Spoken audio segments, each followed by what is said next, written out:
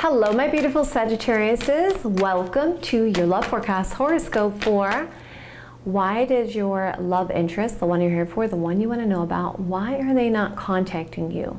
So we're going to examine why they're not contacting you, okay? And I'm going to use three different decks for that. And then we're going to look at what do they want to say to you that they haven't said to you, okay? Just to kind of get more clarity of like, okay, what do they want to say to you? Uh, and then we're going to look at will they contact you, okay? And then we're going to see what kind of good things are coming up for you in your romantic love life. Okay, my darlings, thank you guys so much for liking, sharing, and subscribing, and thank you to my members. Uh, also, I want to make note of this because you guys have mentioned this in the comments. Quite a few of you actually said you're not getting your notifications. All you have to do is you push the subscribe button and the bell notification. If you push the bell notification, you will get your notifications, okay? And also, guys, if you'd like a personal reading with me, go to my website, jenniferwalkerzen.com, or check out the description box below. And of course, I haven't done this reading in a very long time. I think it's been it's been a while. So if you guys want me to do this reading again for you, let me know by hitting that like button. Let me know in the comments below. You can do both. Let's jump right in. Okay, as you can see, I have three different decks here to find out why they're not contacting you. All right, so why is Sagittarius' love interest? The one they're here for, the one they want to know about, why is their love interest not contacting them? Show me the cards I need to see. Show me the cards I need to see. Okay, that's deck one. Why is Sagittarius' love interest, the one they're here for, the one they want to know about, why is Sagittarius' love interest not contacting them? Show me the cards I need to see. Show me the cards I need to see. Why is Sagittarius's love interest, the one they're here for, the one they want to know about, why is Sagittarius's love interest not contacting them? Show me the cards I need to see.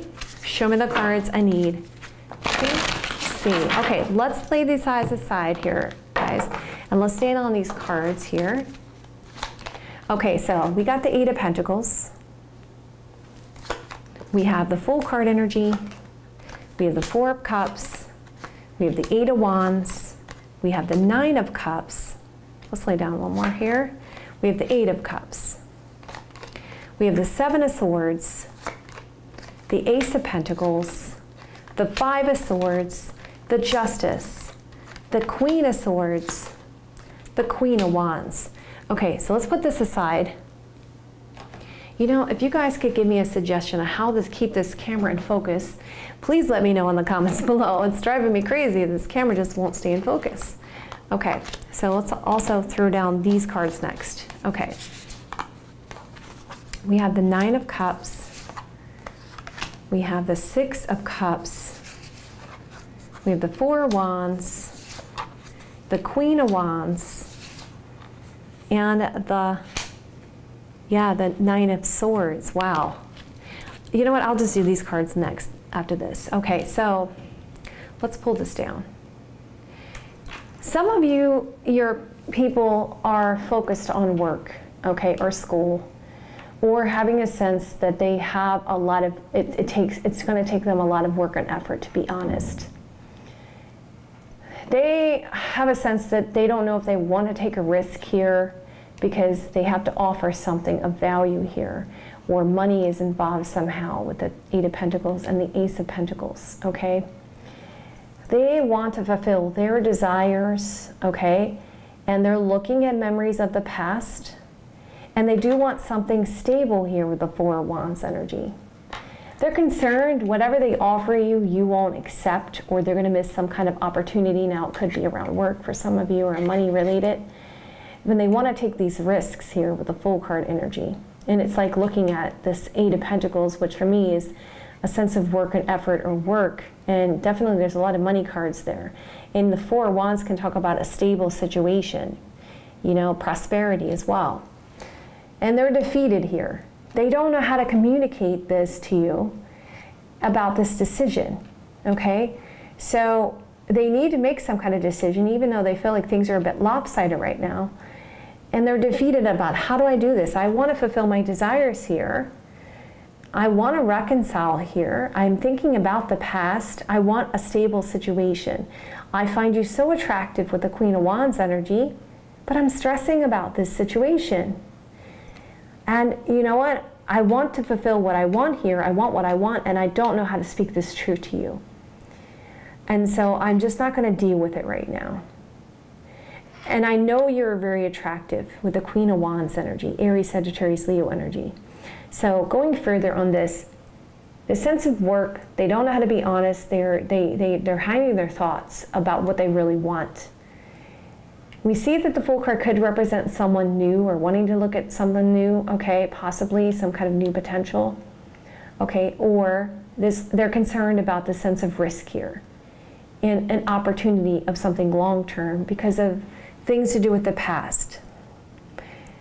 They're hoping that they don't miss an opportunity though with the Four of Cups energy, or they have a sense whatever they're offering to you, you won't accept, and it's making them feel defeated about a long term stable situation.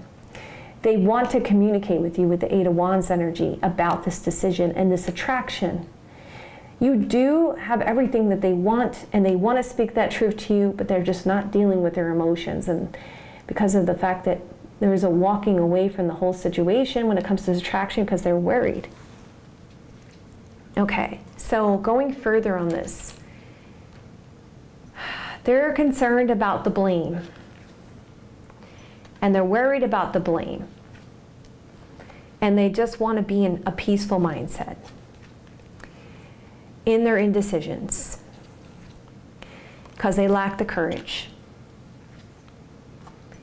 They are ready for a change, but they don't know if they can accept it because they want success and friendship to be brought into balance. This person is concerned about growth, but they don't know if they can deal with the judgment. And so they're deciding to be in denial. There's an envy within them about the sense of you being very honest. They don't know how to be honest about this.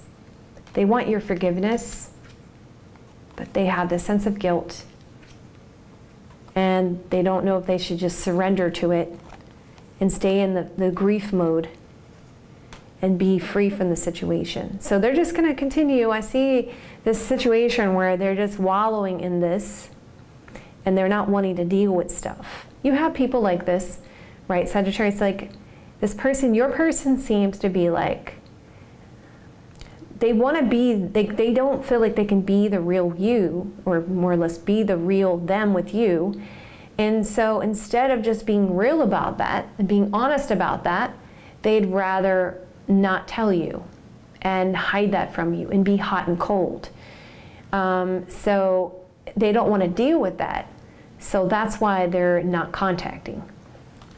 Okay, so let's find out Let's find out what do they want to say to you that they haven't said.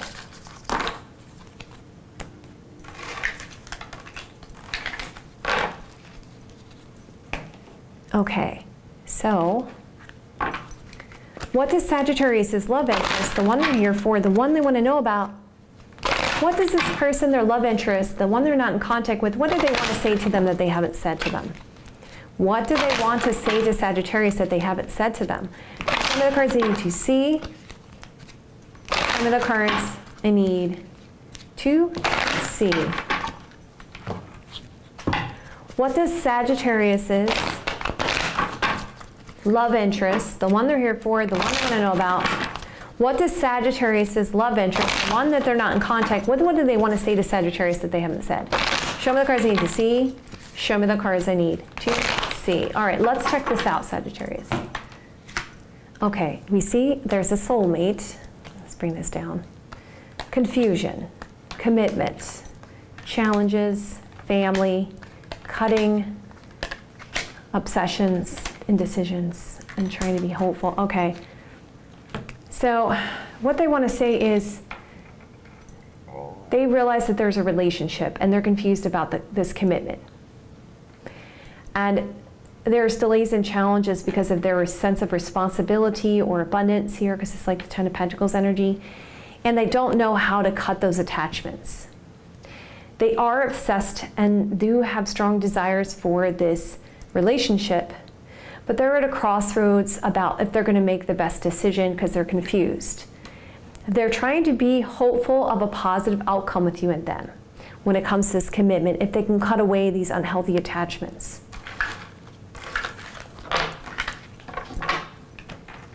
Going further, they want you to know that nothing is going to come from the situation because they're not going to let the past hold them back. They just need some time to breathe.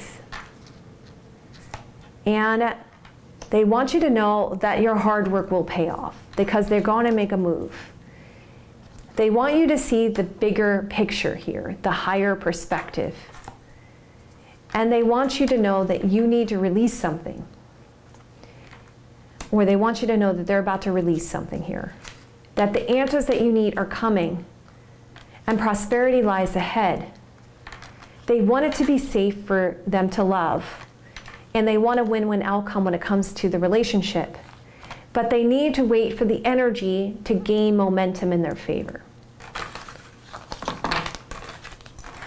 Okay, so Sagittarius, let's find out. Let's find out if they're going to contact you in the next couple months. Sagittarius is love interest, the one they're here for, the one they want to know about. Sagittarius is love interest, the one they're not in communication with.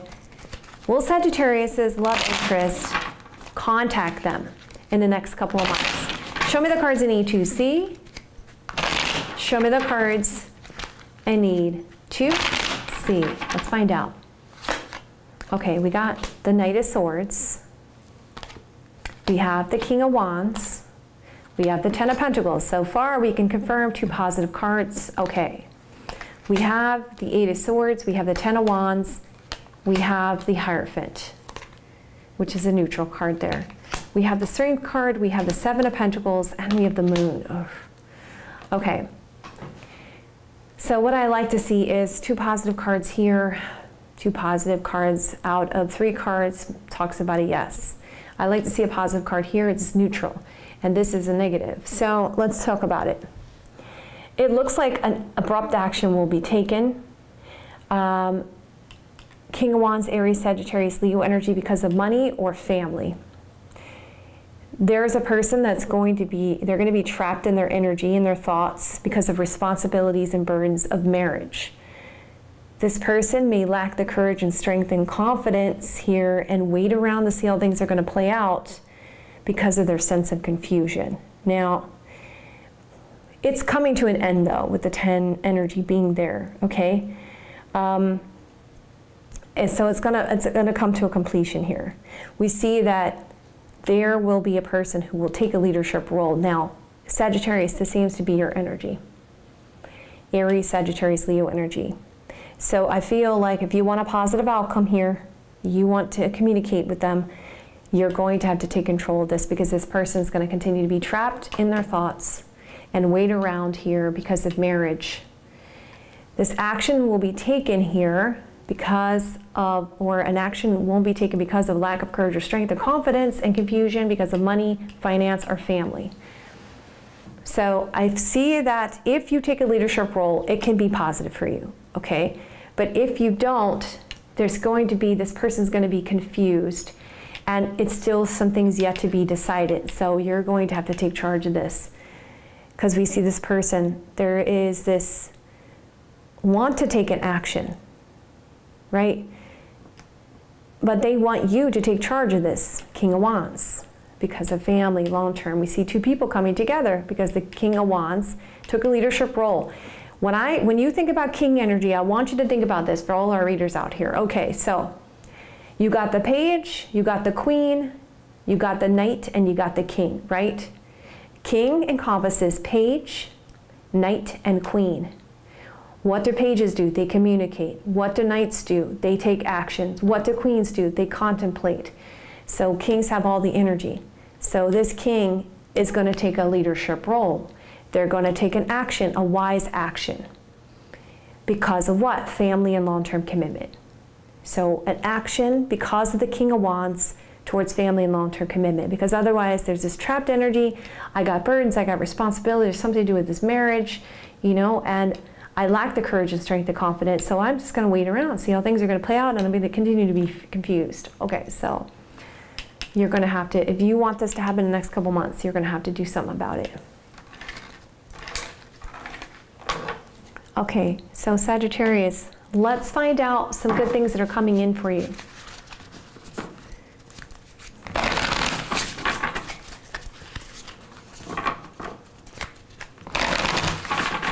All right, so tell me some good stuff that's coming in for Sagittarius' romantic love life. What can they expect? What are some good things that are coming in for them? Show me the cards in E2C. Show me the cards in E2C. Okay, Sagittarius, let's find out. Oh, good. Ten of Pentacles. Family. Well, that could reconfirm that Ten of Pentacles that we saw. Something long term here, something traditional, some sense of security and prosperity coming in. And could be with an Aries, Sagittarius, Leo energy, okay? Uh, there is some potential exploratory energy, enthusiasm about this situation. Somebody that had kind of walked away, okay? And we see, yes, Spirit saying, don't lose hope. You're going to fulfill some things here. Things are going to come fast here. There's going to be some kind of communication, speed that you need to make a decision about. You may be at a crossroads about the situation because of this person who walked away. Nine of Pentacles shows me that you guys are going to be a lot more independent and a lot more abundant there. And because of that, you're going to release some things and things are going to transform in your situation so that things can be brought into balance with the Six of Pentacles energy. Emperor is telling me you're going to gain your power here. And you're going to get clarity.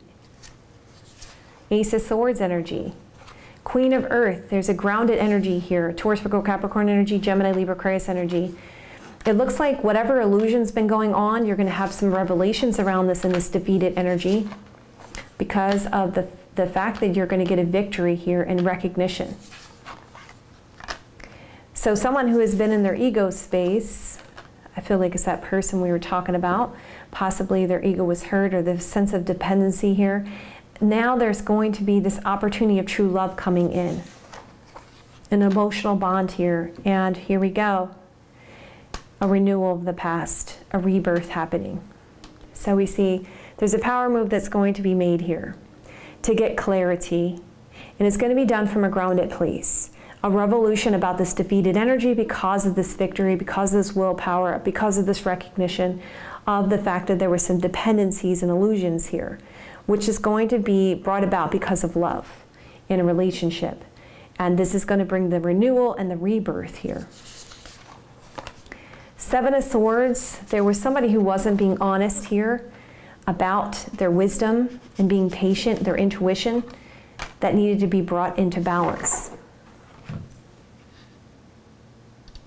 All right, my beautiful Sagittariuses, I love you guys so much. If you guys liked it, hit that like button, let me know in the comments below. I will see you guys in another day or two. There's multiple readings for you guys to go check out right now. There's the monthlies with the day-to-day -day and the overall, as well as the next two weeks, which for those of you guys who've been watching me for a while, you know the next two weeks is always broken up into two parts.